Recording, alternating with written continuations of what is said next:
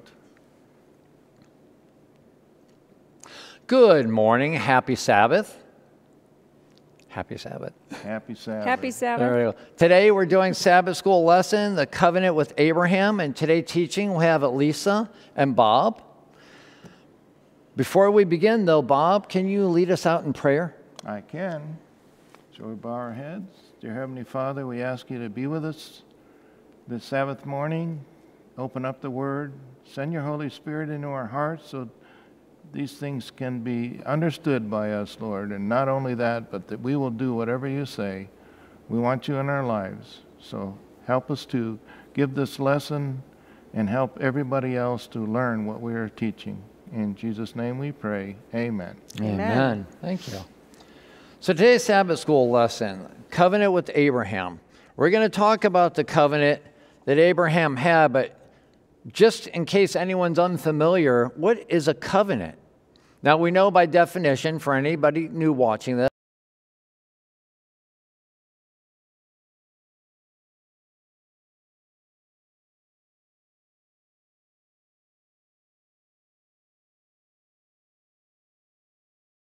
And actually, some people will go with seven, although we're going to stick with six today because one of them plays an important role in the covenant today. So there's the Noahic covenant with Noah, the Abrahamic covenant, the Mosaic covenant, the Davidic covenant, and the new covenant with Jesus that we're all familiar with. That's five. But we also have the Adamic covenant with Adam. And since it plays into the lesson today, especially with Genesis 3:15 and the promise of a Messiah, we're going to include that one as well. Now I know the lesson states that this is the second covenant, but for argument's sake, we're going to go with the third because we included the Adamic one. Um, and we're going to see that because Abraham, this is the beginning of an everlasting covenant that is offered to all humanity, including us, which was fulfilled by Jesus himself. So we see the promise to, of God to Abram and that he will make him a great nation. So we'll start with the memory verse, Genesis 15 2.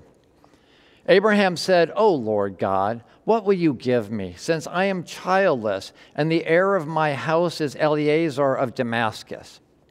Now, after reading that, you may ask yourself, who is Eliezer? I didn't know Abraham had relatives in Damascus, but that's not the case. He is actually adopted. The SDA Bible commentary from volume 1, page 312 says, The steward of my house, and that's the King James Version, Mesopotamian records, particularly from the city of Nuzi, N-U-Z-I, in the patriarchal times, have shed a welcome light on the hitherto obscure passage. These records show that wealthy but childless couples might adopt one of their slaves to become the heir to all their property and also to take care of them in old age. The rights and duties connected with adoption were written, sealed, and then signed by several witnesses as well as both parties to the agreement. So we see that Abram starts his journey off in this covenant promise in the culture of the Babylonian times, really that time. Believing that he and Sarai would have no children of their own, they adopted a son from their slaves one endeared to them and trusted. But now we read Genesis 15, verses 3 through 6. And Abram said, Since you have given me no offspring, or no offspring to me, one born in my house is or one born in my house is my heir. Then behold, the word of the Lord came to him, saying, This man will not be your heir, but one who will come forth from your own body, he shall be your heir. And he took him outside and said, Now look toward the heavens and count the stars, if you are able to count them. And he said to him, you sh- So shall your descendants be. Then he believed in the Lord, and he reckoned it to him as righteousness. So at first, Abraham or Abram believes that his descendant will be Eliezer. Now God promises him an heir from his own body. And the literal translation is from his inner parts. So, from Abram's own flesh. So now we see the second phase of Abram's covenant walk the will of man. After 10 years, apparently, they think that God needs some help. And we read verses 16, 1 and 2. Um, chapter 16, verses 1 and 2. Now, Sarai, Abram's wife, had borne him no children, and she had an Egyptian maid whose name was Hagar. So Sarai said to Abram, Now behold, the Lord has prevented me from bearing children. Please go into my maid. Perhaps I will obtain children through her. And Abram listened to the voice of Sarai. Now, we know this from studying the Bible. This was not uncommon during those times as well.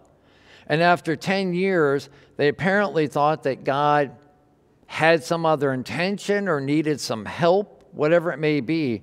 So Abram believes that um, it was counted to him as righteousness, but he's not completely trusting God yet. We're actually walking through Abram's journey and how he goes from that man of the world, even though he leaves where he lives, to that man that completely and wholly trusts in God. Now, does he have a saving grace right now? Has righteousness been attributed to him? Yes. But is he a work in progress?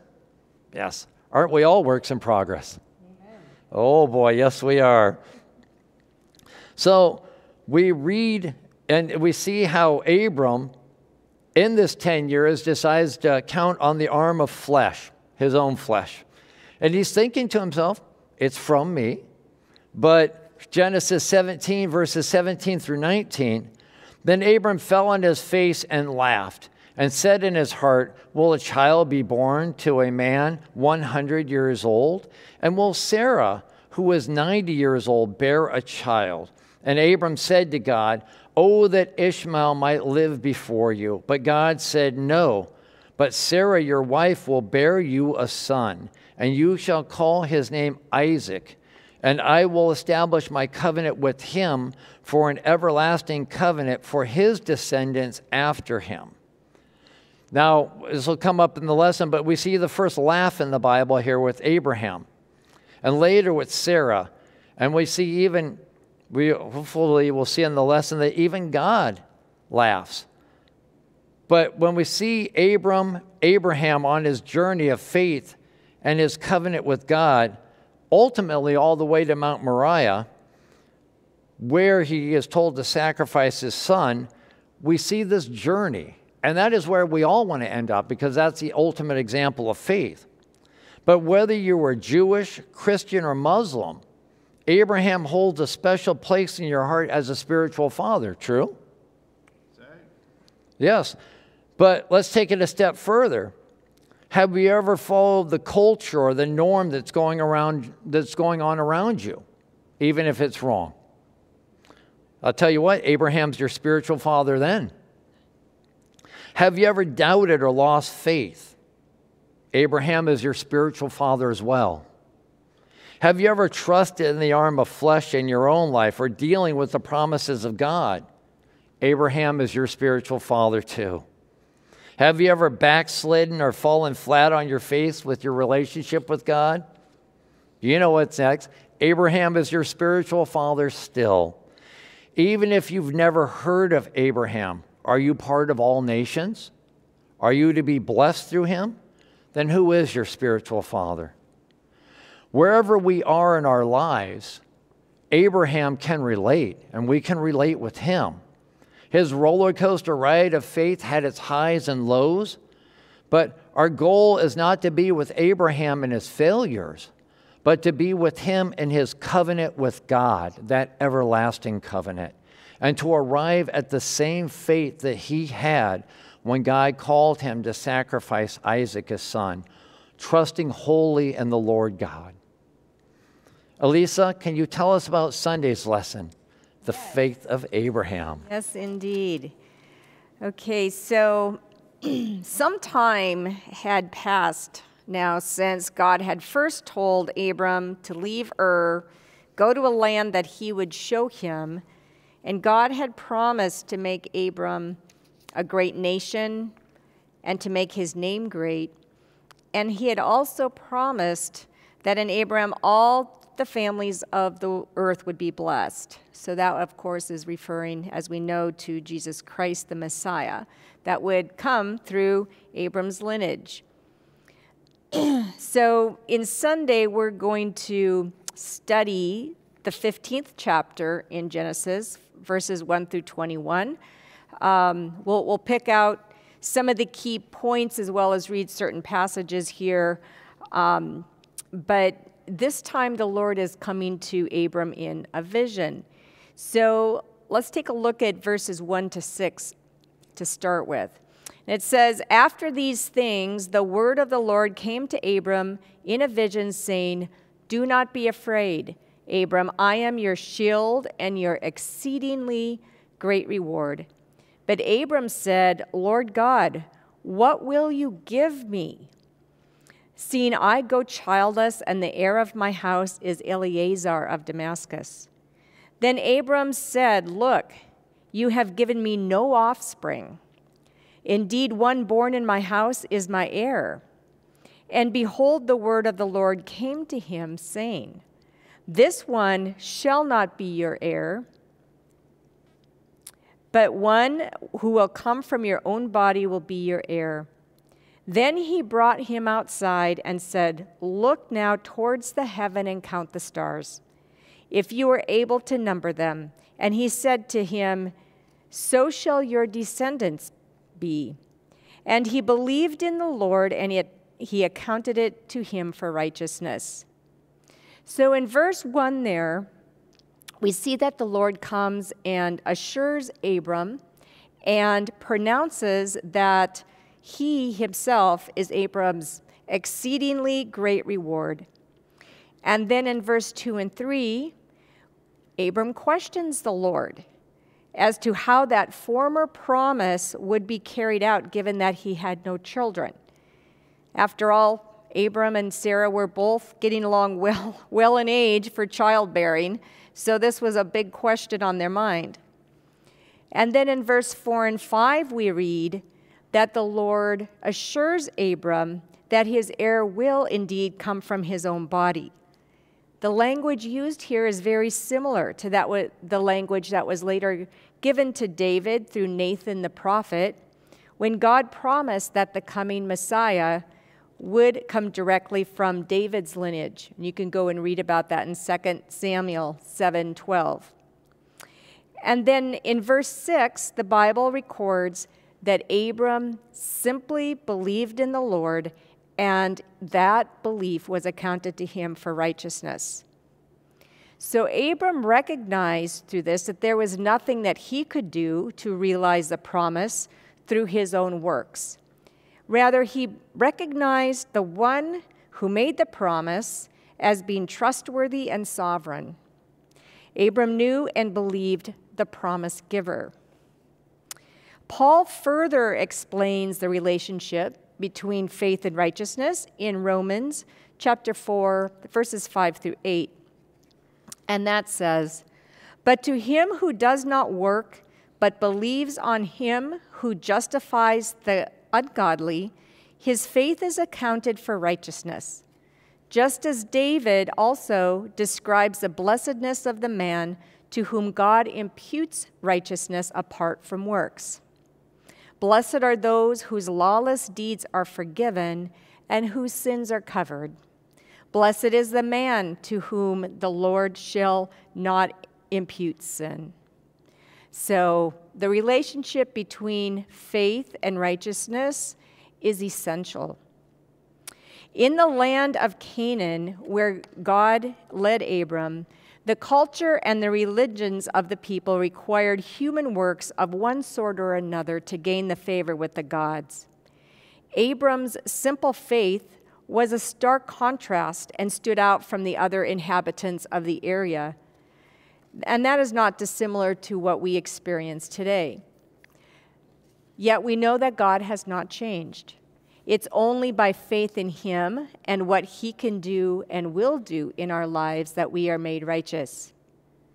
The story goes on in verse 7 and 8, where the Lord then restates that He will give this land, the land of Canaan, to Abram as an inheritance. Abram had not yet entered into the possession of Canaan, so now questions God, saying, How shall I know that I will inherit it? In asking this question, Abram did not suddenly change his mind and lose faith in God's promises. Instead, the experience he had recently had with war with the king of Elam and um, all of the strife and struggle through that was really pressing on him, and it was hard for him to really see through that. Ellen White comments on this in Patriarchs and Prophets, chapter 12, speaking of this aftermath of the conflict and the impact that it had on Abraham. She writes Abraham gladly returned to his tents and his flocks but his mind was disturbed by harassing thoughts. He had been a man of peace, so far as possible shunning enmity and strife. And with horror, he recalled the scene of carnage he had witnessed. But the nations whose forces he had defeated would doubtless renew the invasion of Canaan and make him the special object of their vengeance. Becoming thus involved in national quarrels, the peaceful quiet of his life would be broken. Furthermore, he had not entered upon the possession of Canaan, nor could he now hope for an heir to whom the promise might be fulfilled. In a vision of the night, the divine voice was again heard Fear not, Abram, were the words of the Prince of Princes.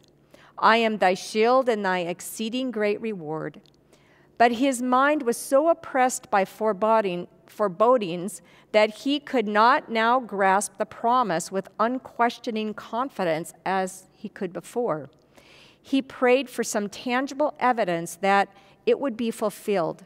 The patriarch begged for some visible token as a confirmation of his faith and as an evidence to after generations that God's gracious purposes towards them would be accomplished the Lord condescended to enter into a covenant with his servant, employing such forms as were customary among men for the ratification of a solemn engagement. So, our merciful God recognizes our human weakness and how swiftly we are overcome by the terribleness of sin and the enemy's warfare against God's true people. In the final verses of this chapter, we read about this uh, sacrificial ceremony that is performed by Abram and ratified by God. And in verses 11 and 12, we see that Abraham is fighting off the, uh, off the vultures, and a horror and a great darkness falls upon him. God then reveals to Abraham that his descendants would be strangers and slaves in another land for 400 years, where they would suffer much affliction. Verse 14, God promises he will judge the nation and bring out Abraham's descendants with much possessions, and at that time they would give, uh, he would give Canaan as a possession. And then in verse 16, God further reveals that this timing is by divine providence it says specifically, for the iniquity of the Amorites is not yet complete. And then in verse 17, God Himself, symbolized by the smoking oven and the burning torch, will passes through and consumes the sacrifice, signifying that the covenant promise is based on the work of God alone and can be trusted and relied upon by Abraham his descendants, and those of us who are spiritual descendants of that promise. And uh, we'll go ahead and close out that and move on to the next section. All righty. Bob, okay. can you tell us about Abraham and his doubts? Well, as far as I can see on Monday's lesson, that uh, this really shows God's patience with us because this happens more than once in our story that Abraham doubted. And what happens when we go out and try and fix things ourselves? And it usually ends up to be a mess. And so we're trying to look here to see what exactly happened. And we've already read part of uh, Genesis 16, 1 through 16. So I'm going to start here with uh, Genesis uh, 16, 3. And Sarai, Abraham's wife, took Hagar, her maid, the Egyptian, after Abram had dwelt. Now, they did have some patience because this is 10 years later after they dwelt there. In the land of Canaan, and gave her to her husband Abram to be his wife. And he went unto Hagar, and she conceived. And when she saw that she had conceived, her mistress was despised of her eyes. So we can see right here that there's a problem coming up here, isn't it? And, and I'm kind of surprised that uh, Sarai, Sarai, Sarai actually blame Abraham for this whole thing. How did that turn around, you know? Oh, that's right. He made me eat the apple, and, uh, you know, it's always the blame game, and it's always somebody else. So here it is, despise of her. And Sarai said unto Abram, My wrong is upon thee, and I have given my maid unto thy bosom. And when she saw that she had conceived, I was despised of her eyes, and the Lord judged between me and thee. But Abram said unto Sarai, Behold, the maid is in thine hand. Do to her as it pleaseth thee. And when Sarai had dwelt heart, heart, hardly with her, she fled from her face, and the angel of the Lord found her by the fountain of water in the wilderness. And when this is said, the angel of the Lord found her. I always thought in the back of my mind, uh, was this an angel or was it Christ? And we look over here in uh, where it says uh, in Genesis 16:7, it says the reference to the angel of the Lord in Genesis 16:7 is a title that is often identified with the Lord, Yahweh. So that was actually Christ that, that was in the wilderness talking to her. And the things he said kind of shows that it was her, was him. So when came down whither thou wilt go, and she said, I flee from the face of my mistress Sarai. And the angel of the Lord said unto her, Return to thy mistress, and submit thyself under her hand. And the angel of the Lord said unto her, I will multiply thy seed exceedingly, that it shall not be numbered for multitude. And the angel of the Lord said unto her, Behold, Thou art with child and shalt bear a son, and they shall call his name Ishmael, because the Lord has heard, heard thy affliction. And it will be a, a wild man, a hand with, will be against every man, and every man's hand against him, and he shall dwell in the presence of all his brethren. Now, can you kind of see right there by what's going to be coming up? And the Lord already predicted this whole thing. It's still going on now, thousands of years later, between those two. Right, the consequences of acting on his own. Yeah, it, it was uh, amazing. And did the Lord know what was going to happen? Yes. So, just my advice is to allow the Lord to guide you, allow that Holy Spirit to come in your lives, and allow the Holy Spirit to guide you into all things that He wants us to do. So let's after we've read that, I think we pretty well have the idea of what's going on. Let's go to Galatians 4 21 through 31 and see what actually is taking place here between these two children. Tell me, ye that desire to be under the law. Anybody want to be under the law? Half the time we don't want to be under the law, but we end up being under the law because of our actions, right? For it is written that Abraham had two sons, and one by the bondmaid and the other by the free woman. By the way, when we accept Christ, who do we become sons of? Become sons and daughters of Abraham. So that how much importance and significance God put in this man. But he who was the bondwoman was born after the flesh. But he of the free woman was by promise. So, being born after the flesh, what, is, what does that mean? That means that they took it in their own hands, and being under the law, they said, okay, let's go ahead and out and fix this thing. which things are an allegory, for these are the two covenants the one from the Mount Sinai, which gendereth the bondage, which is Agar. So, what did the people say at Mount Sinai? Don't worry, all these things we will do. They didn't uh, include God in it. They said, All these things we will do, which gendereth to bondage, which is Agar. For this Agar is Mount Sinai and Arabia, and answereth to Jerusalem, which now is and is in bondage with her children.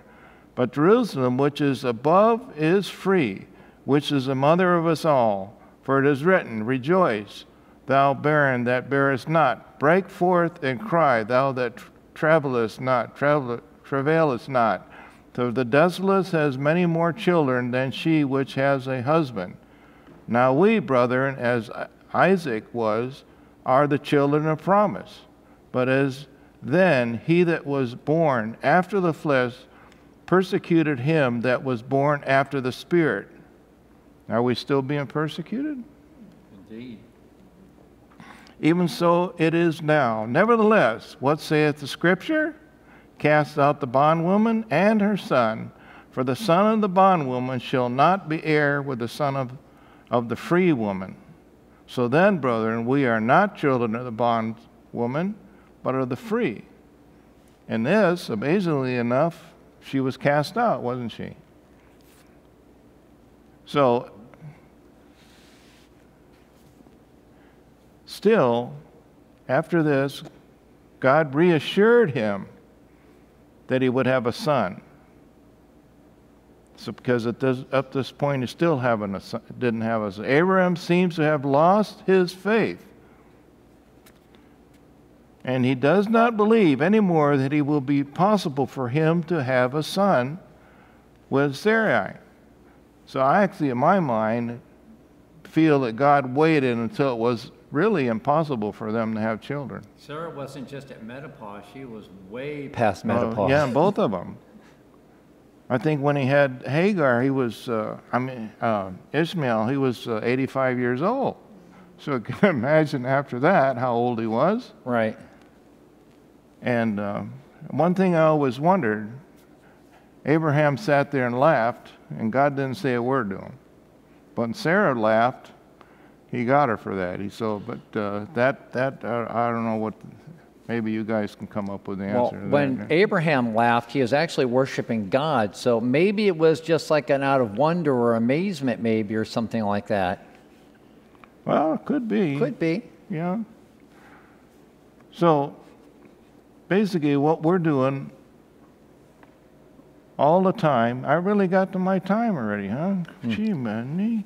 What we always do, and the wrong thing that we always do, is do we try to fix things ourselves?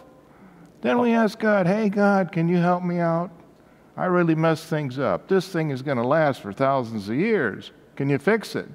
And So God will say, basically, "Yeah, you're yeah." saying we should always come to God first. When you get up in the morning, you go to Him. Right. and you ask for forgiveness and things that are going to happen during the day. You want to run to Him after the middle of the day when you are tempted and ready to fall into sin? No, you have to do it before. Right. So that's all I got to say. That's If Abraham, advice. yeah, if Abraham would have done that, we wouldn't have the trouble we do today. Oh, man. So let's I look. always think about that. Yeah, let's look at Tuesday's lesson. And let's look at the sign of the Abrahamic covenant.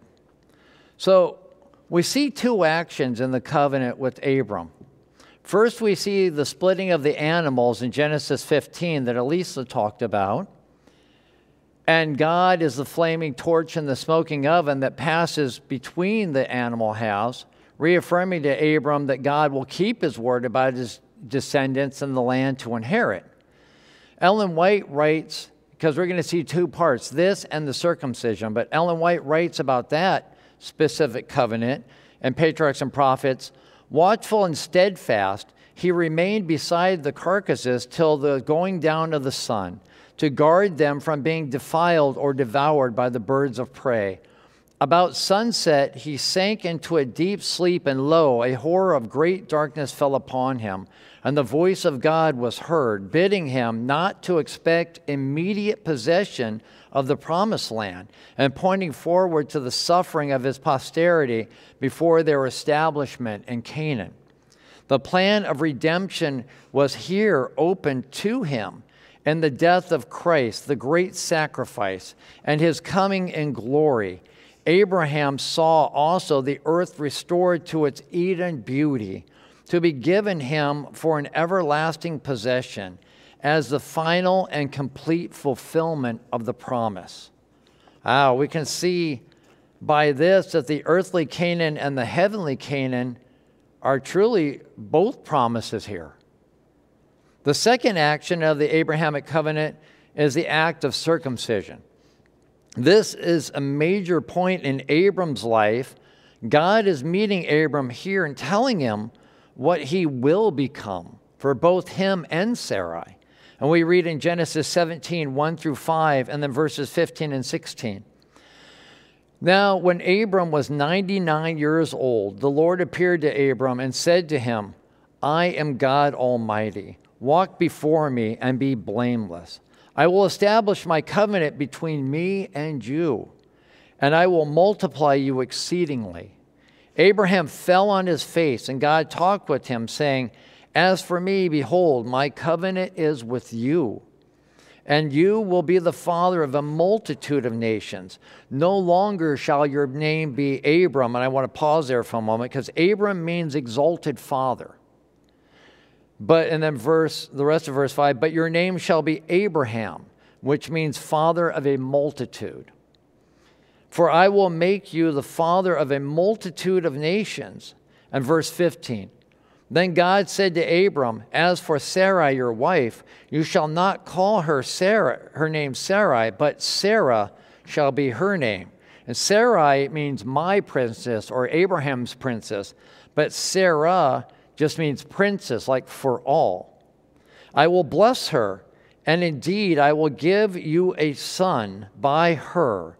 Then I will bless her, and she shall be a mother of nations. Kings of peoples will come from her. I love this. When God acts. And then Genesis 17, verses 10 through 11. This is my covenant which you shall keep between me and you and your descendants after you. Every male among you shall be circumcised, and you shall be circumcised in the flesh of your foreskin, and it shall be the sign of the covenant between me and you. Now, in the ancient Near East culture, circumcision was practiced, but it was a mere ceremony or a marriage initiation. I hope it's not on the day. but exactly. However, in Abraham's covenant, circumcision becomes a sign of God's extraordinary conjugal relationship with his people. It is literally a sign of the commitment of the people had to their bridegroom, Christ. And both the covenant the animal has and the covenant of circumcision, we see a covenant of blood. There's always blood in a covenant, isn't there? So every time a child was circumcised, the blood from that initiated the covenant between that child and God. And by the way, how old did they have to be when they were circumcised? What? I forgot. Eight days. Eight days. Days. That was the perfect time. Here's a little medical side note. Exactly. In eight days, the level of vitamin K is highest, and vitamin K plays a vital ro- or pivotal role in the regulation and control of the clotting of blood. It's a medical fact. Now, how would Abram, Abraham know that? Exactly, exactly. So let's see what the SDA Bible commentary has to say about circumcision. Ye shall in verse 11, ye shall circumcise. Okay, from the ancient times, various suggestions have been made in the explanation of this rite. The Alexandrian philosopher Philo, a Jew, believed it was ordained by God merely to promote physical cleanness. The others saw it as a protest against certain idolatrous traits practiced by the Egyptians and other heathen nations. Calvin believed it to mean a symbolic putting away of the fifth of the flesh and so of sin in general. I like that. The foreskin just gets rid of all sin, huh? Oh boy. The following points, however, may be noted with reference to the importance of circumcision. It was destined to distinguish, number one, to distinguish the seed of Abraham from the Gentiles, and we see that in Ephesians 2:11. Number two is to perpetuate the memory of the Jehovah's covenant. That's Genesis 17:11. Number three was to foster the cultivation of moral purity. We see that in Deuteronomy 10:16. Number four is to represent righteousness by faith, and we see that in Romans 4:11. And number five, to symbolize circumcision of the heart. And we see examples of that in Romans 2:29. And the final number six is the foreshadow, the Christian rite of baptism. And that's Colossians 2, verses 12 or 11 and 12. And we'll come to that later in the lesson. This is why I included the Adamic covenant with Adam and from Genesis 3:15 because it is the first prophecy in the Bible concerning the Messiah. The Noahic covenant doesn't point to Christ, but the covenant with Abraham does. That is why it's so important to us today.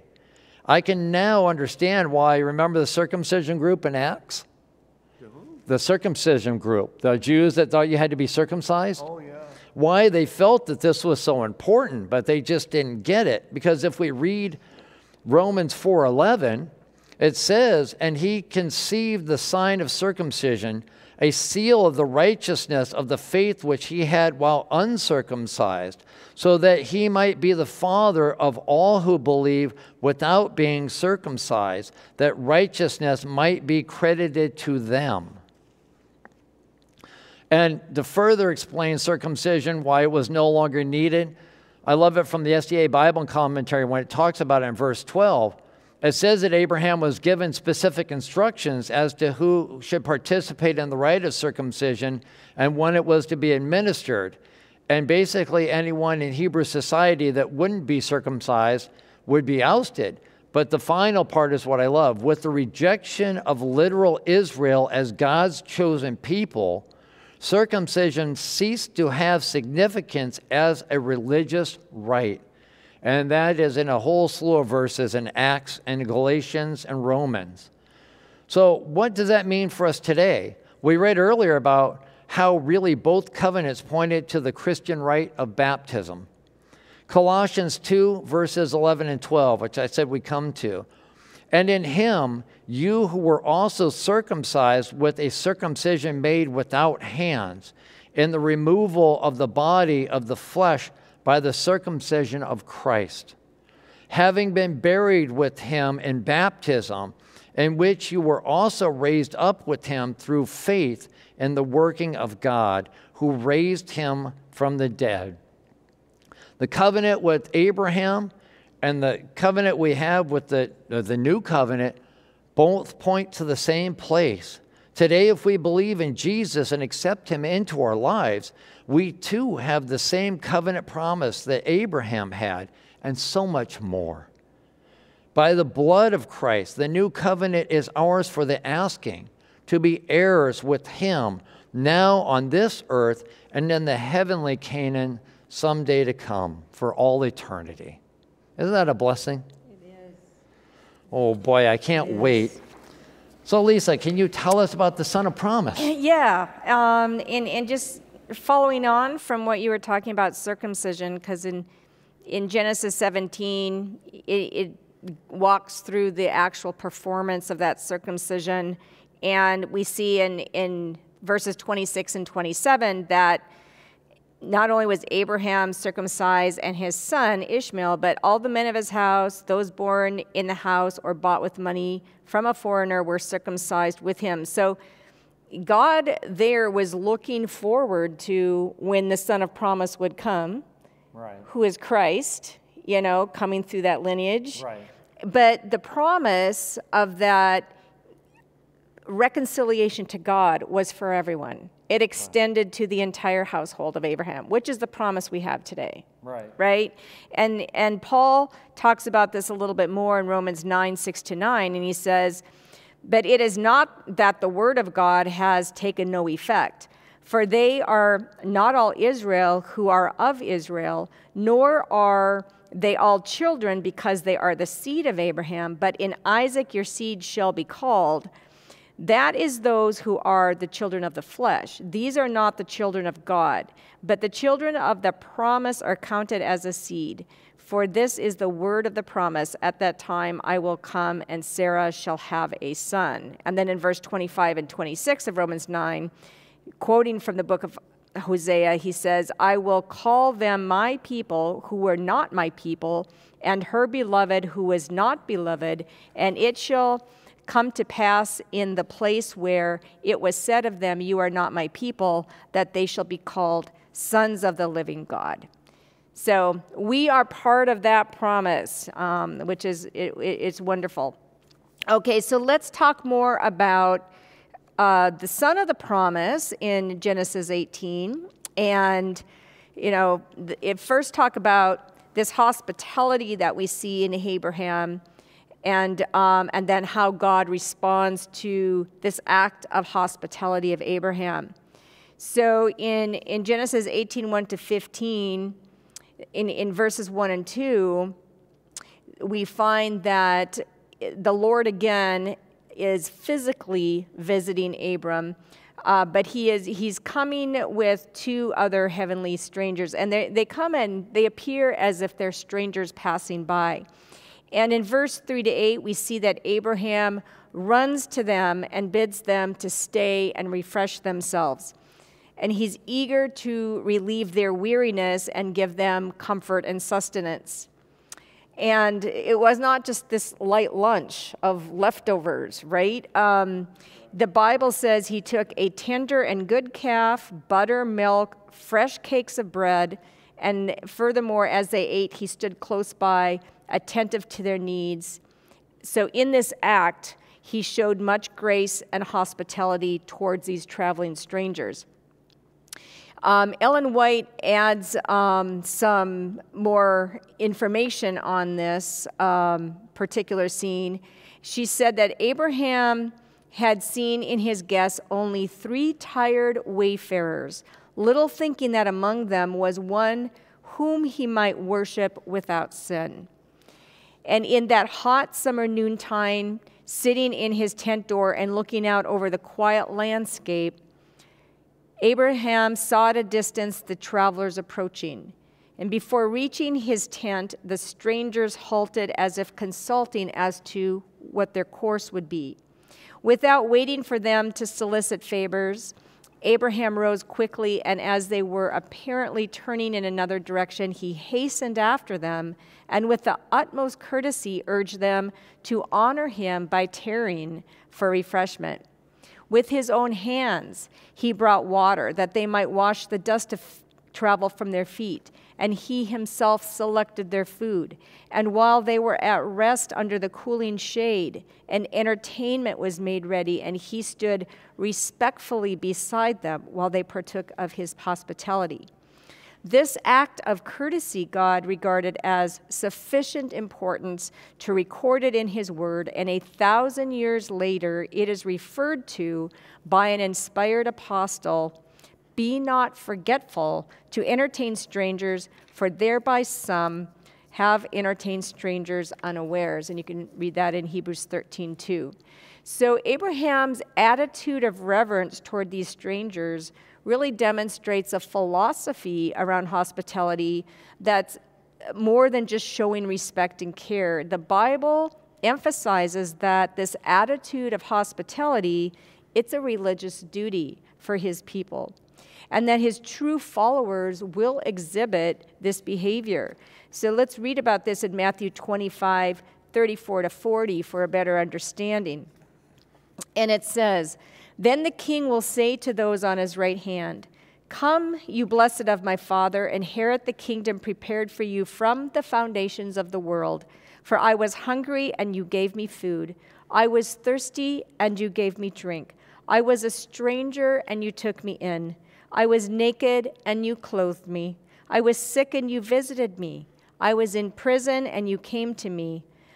the and then the righteous will answer him saying lord did, when did we see you hungry and feed you or thirsty and give you drink and when did we see you as a stranger and take you in or naked and clothe you or when did we see you sick and in prison and come to you and the king will answer and say to them assuredly i say to you inasmuch as you did it to one of the least of these my brethren you did it unto me so, this attitude of reverence and hospitality towards others really reflects Christ's love and grace towards humanity. He condescended to leave heaven and become a servant uh, to humanity in his ministry. And that ministry was centered around his compassion and service to the downtrodden, the tired, the needy, the sick, the poor in spirit. And his ministry lifted them up, healed them, befriended them, befriended those who were cast out. So our service on earth is really the same. Our service is to reflect the character of Christ, right? So what, is, what, was, uh, what was the Lord's response to this gracious act of, of hospitality by, by his servant Abraham? Well, Abraham's hospitality resulted in a rich blessing for both him and Sarah. The Lord himself then pronounced the promised son would indeed come and Sarah would bear this son at the appointed time. And at this moment, the Bible doesn't record how Abraham responded in, in that moment, but we are told that Sarah laughed within herself. So, having waited so long for this promise and now being well past childbearing age, she was probably filled with doubt, right? And had probably given up on that promise long ago. Long ago. Yeah. So, you know, and it's it's kind of you know humorous, really, what what God does here. But um, to the one who knows our deepest thoughts, uh, our doubts and discouragement, um, Sarah must have, you know, if, although she felt overwhelmed over the years for her barren state, that feeling of hers did not go unnoticed by God right? He, he did not forget Sarah. So in verse 9, the Lord asked Abraham directly, Where is Sarah, your wife? So up to this point, the promise had only been given to Abraham, right? Now he includes Sarah as and, and, and she can hear what he is going to say. So by doing this, he and including her directly in the pronouncement of the coming son, he's addressing her doubts head on and revealing that he is a Lord who who knows her thoughts and doubts. And but then what does he say? Is anything too hard for the Lord? Right? right? So he's like, you know, you're looking at it from a human perspective. I'm God. I created you and I can do anything. And and so now when it seems to Sarah that she has been totally forgotten and that the promised son could no longer come, that's when the Lord is going to fulfill his word. So you, you had mentioned earlier that, you know, this whole story kind of ends up with God laughing, but you know, he he addresses her and says, right. "But you did laugh, right? You know, um, even though she doesn't denies it." And even in Genesis twenty-one six, the verse says, "God has made me laugh." Yeah, yeah. So, so, I'm sure, you know, God kind of winked at this as, you know, because he knew from a human perspective this would be just so unbelievable. Right. You know, because we're confined to our human bodies and there's a time for certain things, but God is God can overcome that. Can you imagine everybody talking about God after this? You know what yeah. God did? Exactly. She was really yeah. old. And she, she was 90. Right right? So. Nobody has a child at 90, let alone Not 70. even then. so, All right. Anyway, and, let's go over to Thursday. I know, because we see that character of Abraham, right? Mm-hmm. When he mm-hmm. greets him as guest, and we're going to see that character that really is coming from God continued when he barters with God over, over Lot and Sodom. Mm-hmm. Mm-hmm. Bob, can you tell us about that?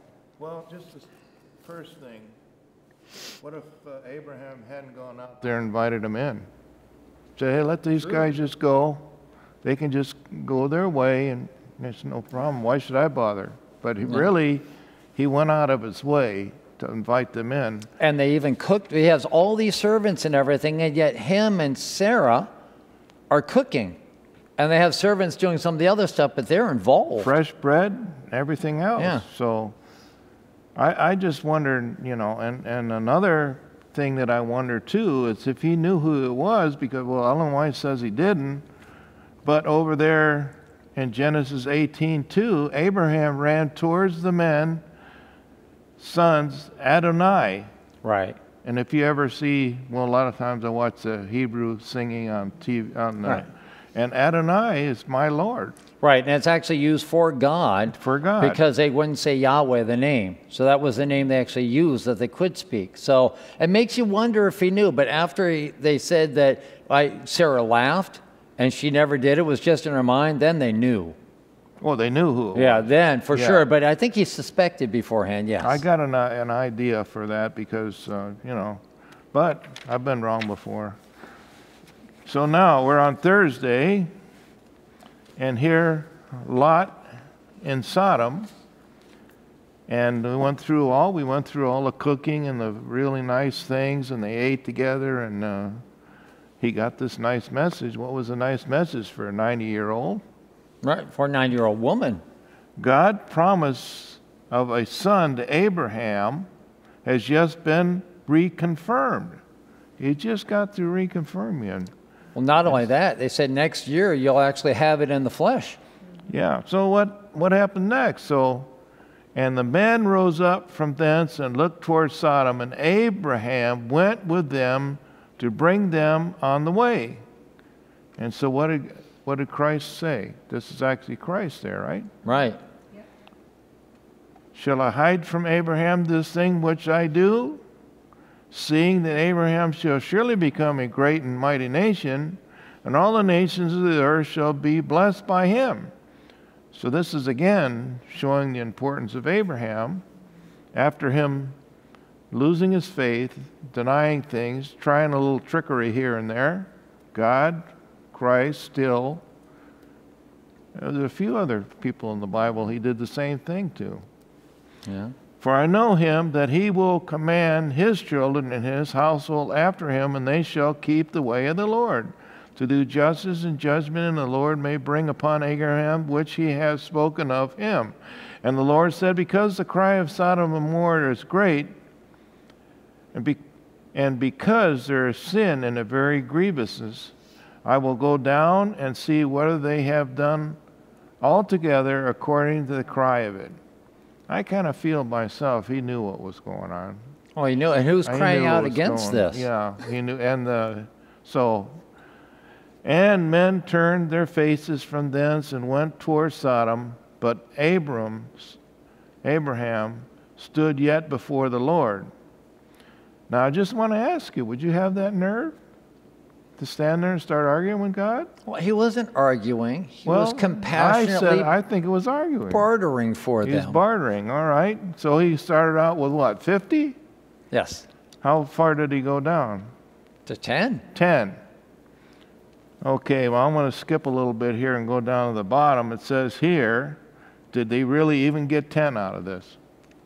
No. No. Abraham, not Abraham, Lot, his wife, and two daughters. And you have to Now, think. out as- of that four, did they all make it? Nope. They got out of there, but she turned around and turned into salt. So that way, that was what, what became of that. And then to realize that the whole nation would have been saved if there was 10. Now, I'm not sure how big that city was. Imagine it was fairly big. Yeah. And so you figured 10 couldn't even get 10 out of You there. figure there at least had to be a couple of thousand people there plus. Yeah. Find 10 should be no problem. Well, it seemed like it was. But it is Sodom. Yeah. So, what this uh, discussion was all about, we won't say argument, we'll say discussion. okay. What was basically what Abraham, what was he basically doing? Interceding. Interceding. Other words, it says here the Hebrew phrase stood before the Lord. I really didn't understand what that meant, but it says that it means he was praying for these people. Now, really, if you want to really put the most important thing in this whole thing, what should we be to be doing for the lost?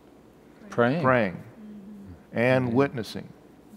You want to be standing there and Christ is coming through and the guy's standing there next to you and says, Boy, I wish somebody told me about this. That'd be pretty shame, wouldn't it? Well, and even for us, do we have a high priest in heaven who's interceding for us? Yeah. We'd be lost without him. And Ellen White says, before you say anything, 80% of the work is already done by the Holy Spirit. So basically, when you talk to somebody and they have the Holy Spirit hasn't gone before you, what does the Bible say it is? Foolishness to them. Mm-hmm. Yeah. So if you're talking to somebody and it's not foolishness, that Holy Spirit has already done 80% of the work, mm-hmm. waiting for you and me. Yeah. So, we got through there. Abraham challenges God, and he starts with 50 down to 10. That would have saved the entire city. So, of course, when we read the story of what happened when the two angels came to Lot to warn him, and uh, I hope everybody has, has read that. It's one of the stories where the, the, the angels went in there and Lot asked them to come into his place, and then they went in, finally went into his place, and then the people around there came around and wanted to, to uh, Have their way with have them. their way with them. That's a good way to put it. So, But they were under that covenant of Lot at the time. They were under his protection. That's why he tries to keep them safe. yeah. Now, what, to me, I, I can never understand this thing. What, did, uh, you know, where he was going to send his daughters out I know, there. I know. That- Don't that go there. part, okay, I'll leave that alone.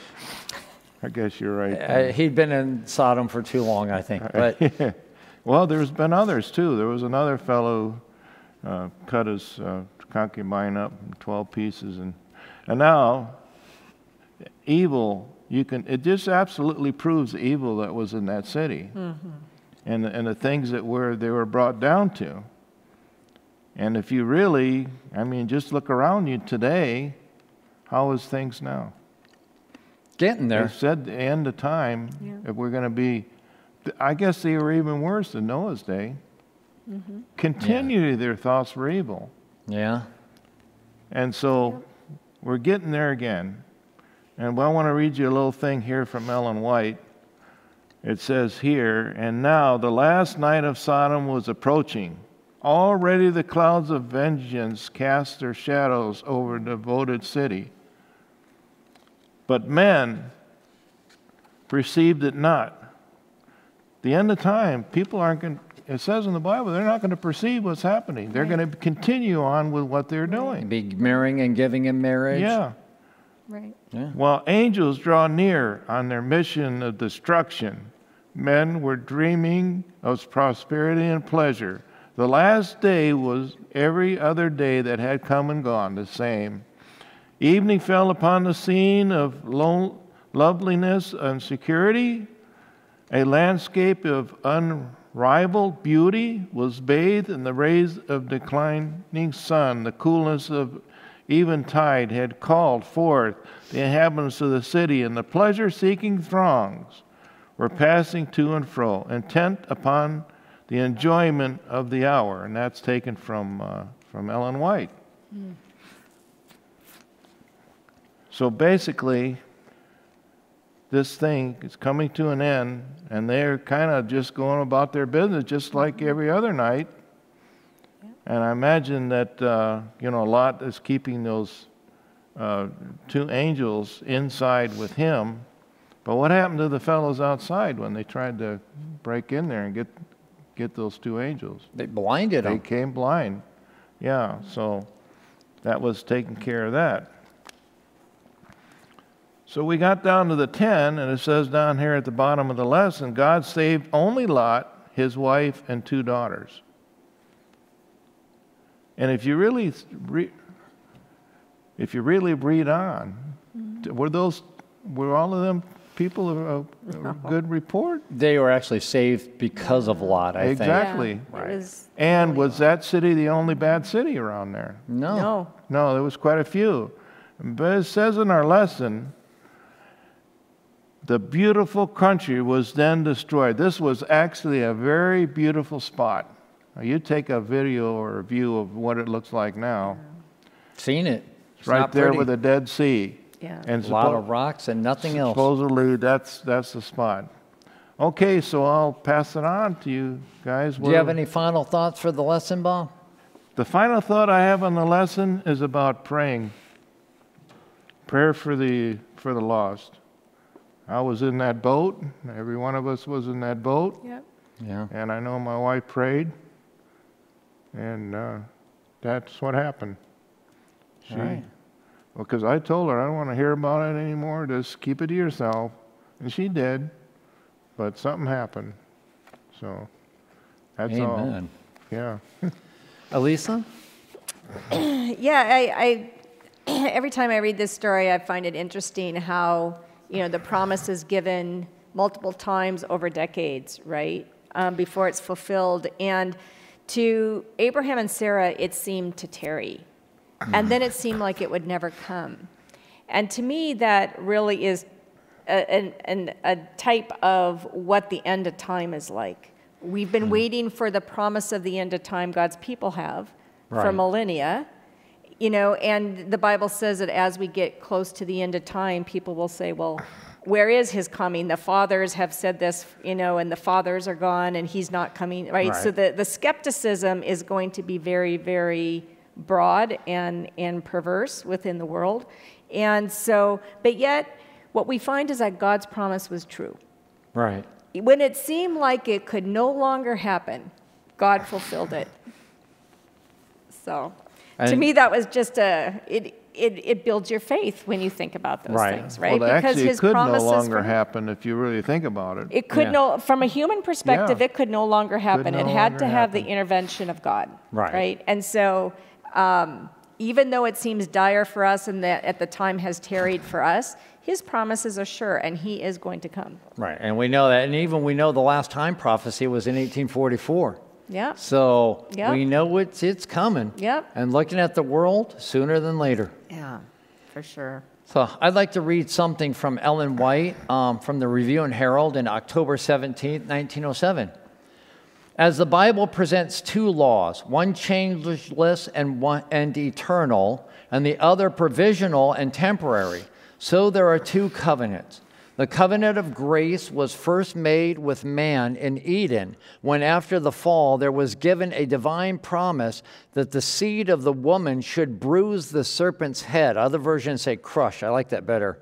Um, and to, uh, to all men, this covenant offered pardon and the assisting grace of God for future obedience through faith in Christ.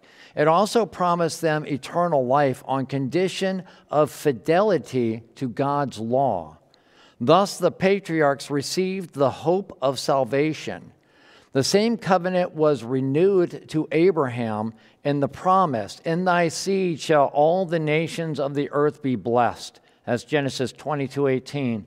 This promise pointed to Christ, so Abraham understood it, if we will refer to Galatians 3 8 and 16, and he trusted in Christ for the forgiveness of sins. It was this faith that was accounted unto him for righteousness. The covenant with Abraham also maintained the authority of God's law. The Lord appeared to Abraham and said, I am the Almighty God. Walk before me be, and be thou perfect. That's in Genesis 17 1. The testimony of God concerning his faithful servant was Abraham obeyed my voice and kept my charge, my commandments, my statutes, my laws. And that's in Genesis 26 5. And the Lord declared to him, I will establish my covenant between me and thee and thy seed after thee and their generations for an everlasting covenant to be a God unto thee and to thy seed after thee. Well, who's Abraham's seed? Well, we are. We all are, right? So we are all heirs to the same promise and to the same salvation. I pray that Abraham might be our example to all of us. Was he always in a good spot? No. Lied about his sister twice, not being his wife, among other things. But in the end, he trusted God completely to follow in all of his ways, not out of obligation, but out of love for him who made us, who redeemed us, and who loves us more than we can ever understand.